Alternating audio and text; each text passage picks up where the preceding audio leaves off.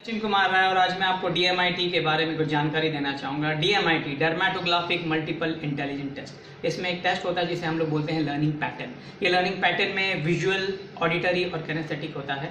ये हमें बताता है, अगर विजुअल है तो बच्चा एक बार पढ़ता है, उसके दिमाग में आ जाता है। ऑडिटरी एक बार सुनता है तो उसके दिमाग में आ जाता है। और कैनेस्थेटिक प्रैक्टिस करता है तो उसके दिमाग में आ जाता है। ये पैटर्न अगर हमें हमारे बच्चे में, हमें पता चले तो हमारा लर्निंग बहुत ईजी हो जाएगा। हमें चीज़ें आराम से समझ में आ जाएगी। अगर हम विजुअल हैं तो मैथ या डायग्राम या ड्राइंग देखे करेंगे तो आसानी से आ जाएगा। ऑडिटरी हैं सुन लिया तो हमारे दिमाग में बहुत आसानी से चीज़ें चली जाएगी।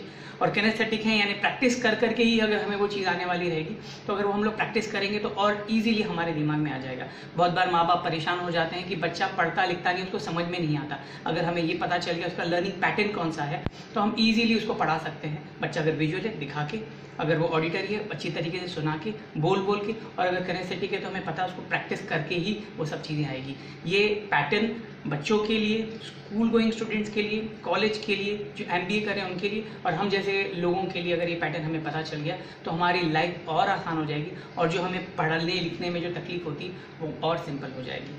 अधिक जानकारी के लिए D M I T test के लिए आपको आ, कोई इन्फॉर्मेशन चाहिए तो आप हमें कॉल कर सकते हैं। हमारा नंबर है eight one zero eight five six two six four six thank you thank you very much